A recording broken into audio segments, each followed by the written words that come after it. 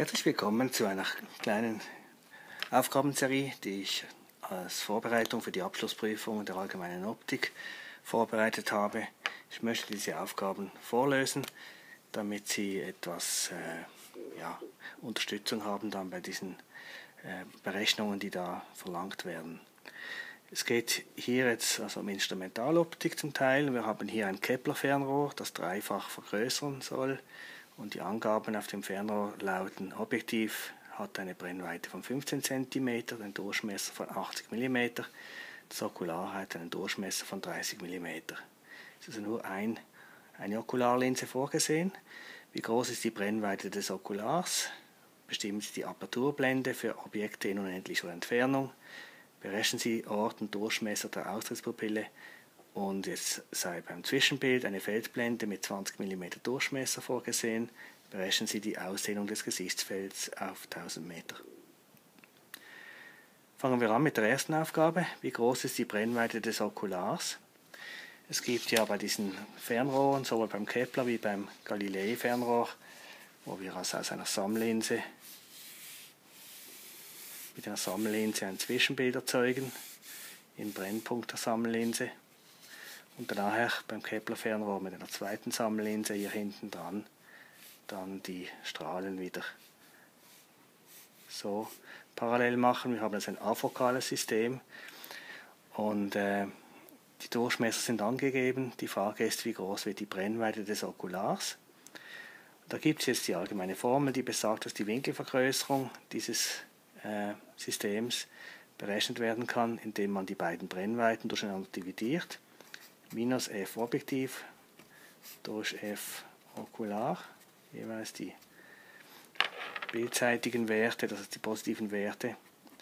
Und wenn jetzt in diesem Fall das Fernrohr dreimal vergrößern soll, das ist also ein Faktor 3, und wir wissen auch ja, dass das Objektiv eine Brennweite hat von 15 cm, da können wir so sagen, dass das Okular nachher dreimal, eine dreimal kleinere Brennweite hat, also 5 cm. Also f' Okular ist gleich das Auflösen minus f Objektiv durch f Okular. Jetzt müssen wir aufpassen, im Grunde genommen ist das ja hier jetzt, Entschuldigung, f minus f Objektiv durch diese Zahl 3. Wobei wir dann denken müssen, dass beim Kepler-Fernrohr ja eigentlich die Winkelvergrößerung negativ wird, also dreimal aber negativ, sodass wir dann auch hier schreiben können, das gibt nachher äh, 15 cm durch minus 3, das heißt wir haben dann 5 cm. Das ist also 5 cm groß. Äh, wenn man die Formel sich überlegen will, dann kann man, äh, also wo die herrührt, dann kann man sich vorstellen, dass man also Strahlen nimmt, die jetzt schräg einfallen, aus dem Unendlichen kommen, hier durch das Zentrum des Objektivs gehen und dann hier auf die Objektiv, äh, auf die Zwischenbildebene gelangen.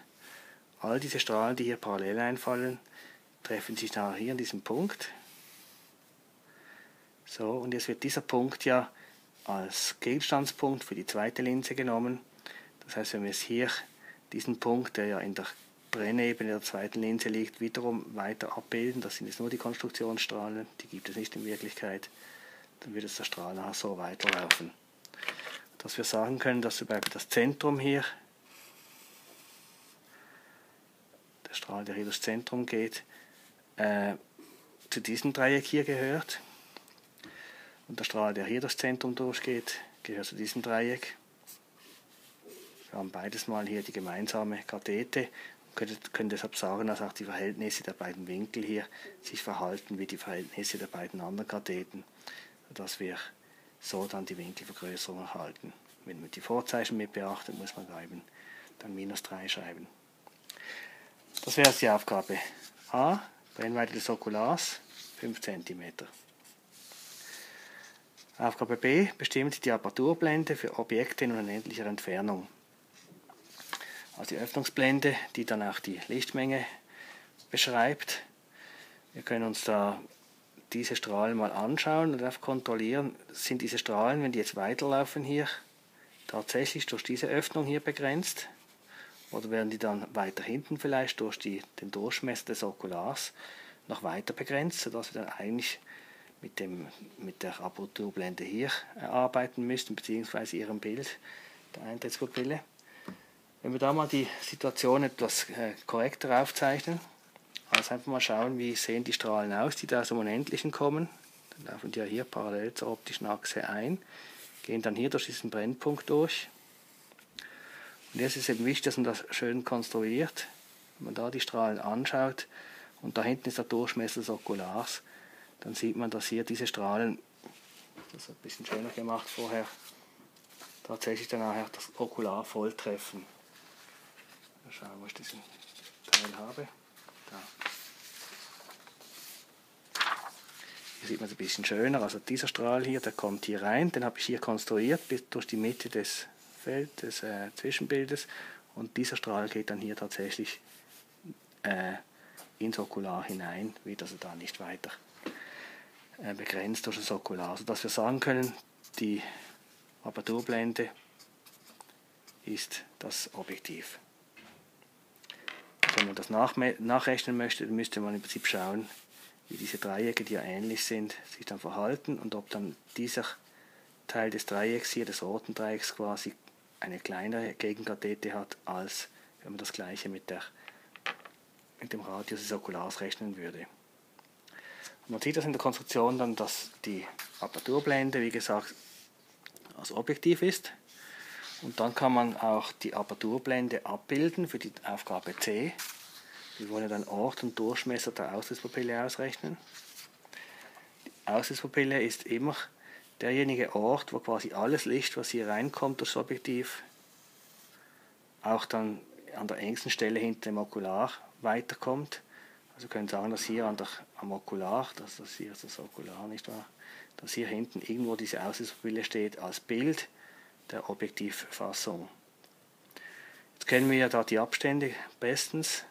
Wir haben da gesagt, äh, wir haben 15 cm fürs Objektiv gehabt, 5 cm fürs Okular hier, das heißt wir haben insgesamt dann 20 cm als Abstand hier dazwischen.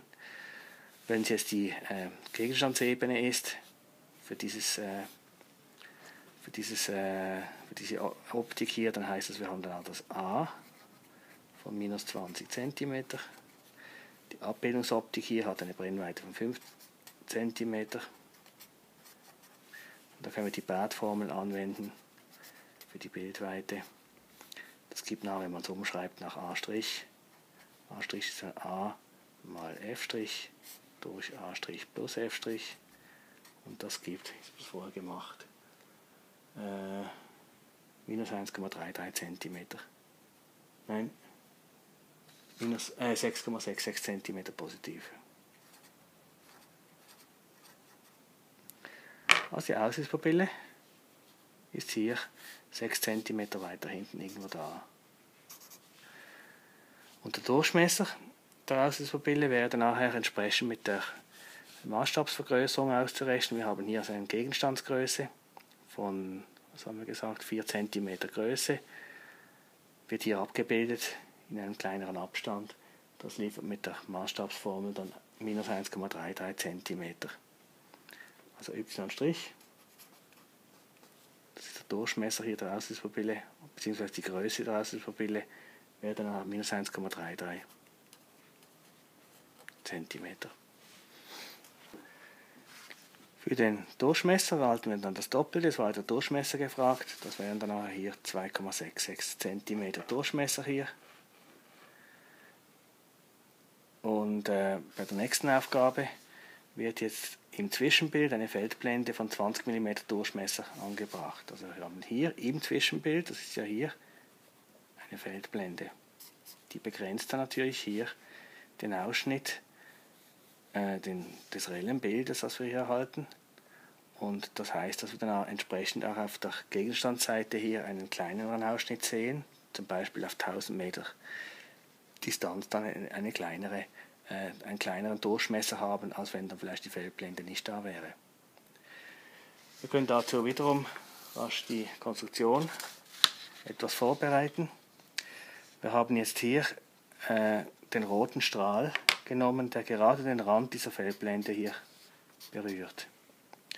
Dieser rote Strahl, der geht dann tatsächlich ja durch diese Optik hindurch, auch beim Okular.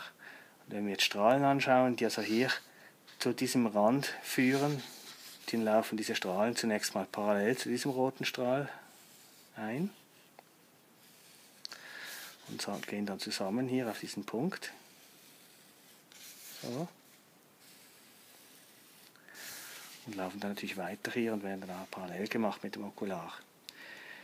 Äh, jetzt für die Größe des Bildes, also der, der, der, Objekte hier in der Gegenstandsebene, kann man jetzt eigentlich davon aus, also benutzen, dass diese beiden Dreiecke wieder ähnlich sind.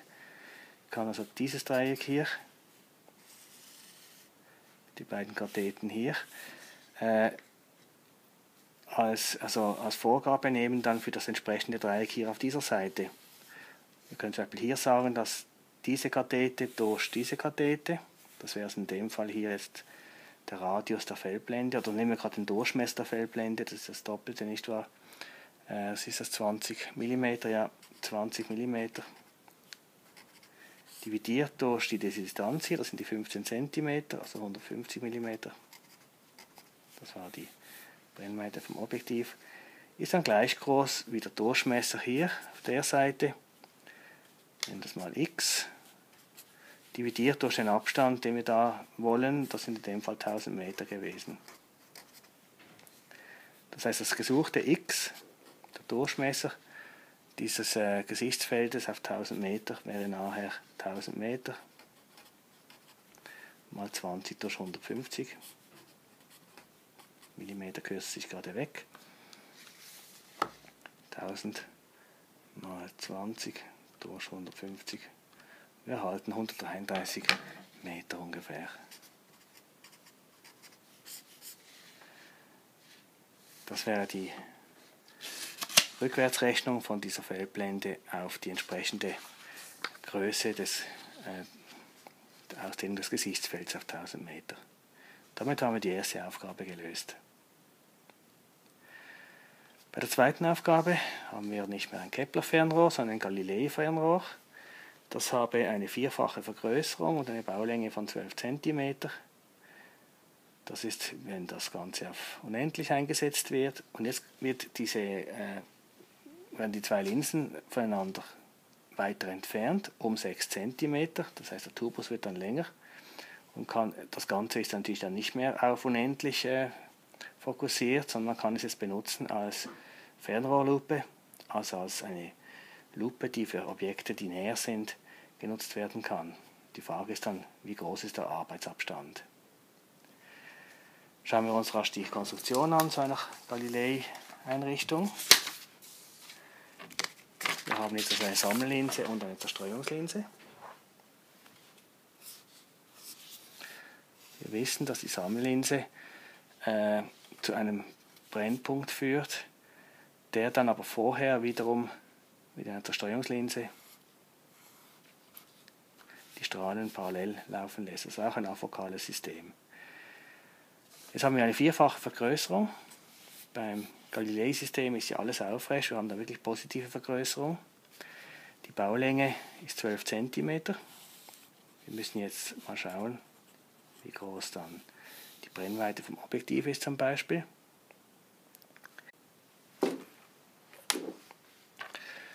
Wollen diese Distanz hier mal c nennen, die wir dann noch benötigen. Das ist eigentlich dann die Brennweite des Okulars.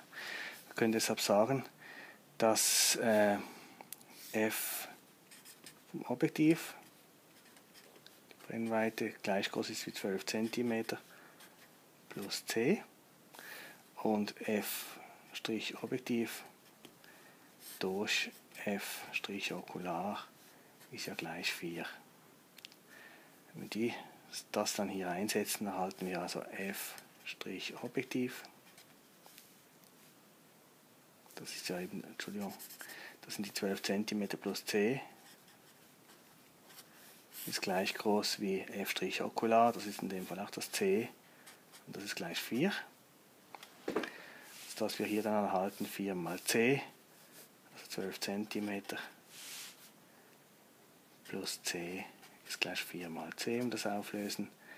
Dann können wir auf beiden Seiten c äh, subtrahieren und erhalten 12 cm ist gleich 3 mal c oder c ist nachher 12 Drittel, also 4 cm. Wir können also sagen, dass wir hier beim Okular, es ist ja eine virtuelle, also ist also eine Zerstreuungslinse, haben wir minus 4 cm Brennweite dann.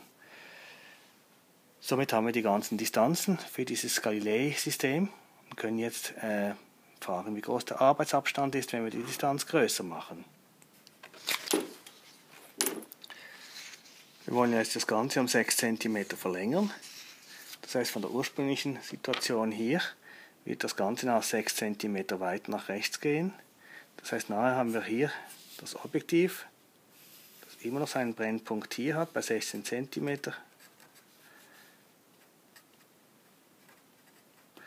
Aber die Okularlinse ist dann nachher 4 und dann nochmals 2, also 6 cm weiter gerutscht. Sind wir also da. Haben also insgesamt hier nochmals 2 cm den 16 cm. Das gibt dann zusammen hier 18 cm. Und die hat ja dann nach wie vor ihren virtuellen Brennpunkt hier bei 4 cm.